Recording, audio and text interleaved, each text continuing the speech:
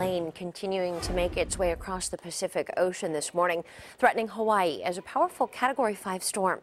CBS 13's Lori Wallace joining us live from Sacramento International Airport with possible impacts to travel. Good morning to you, Lori.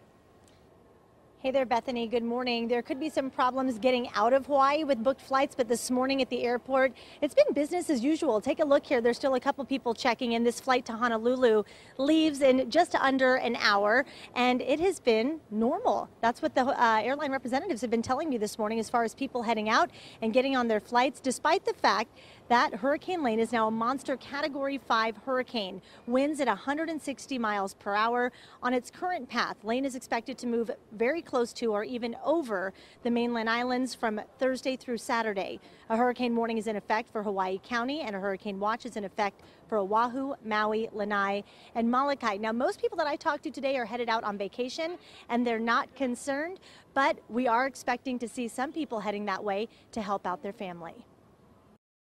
Actually, it's my mom and my dad, and uh, my dad is half paralyzed. So I'm going to go there and help board up the windows, get the house ready, and uh, be prepared because those winds are going to get strong. You know, it's going to get really strong.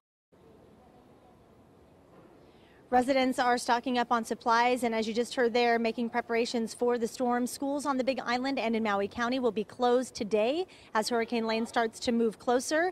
Mudslides, rain, flash flooding, and high surf are all concerns if the center does not even reach the islands. So this is something that people are concerned with as they head out today. Of course, the rain and the bad weather, but people headed there for vacation are saying, you know what, they'll deal with it, and they're headed out anyway. But again, those flights coming back into Sacramento could be a little busy today as some people try to avoid the situation altogether. Bethany?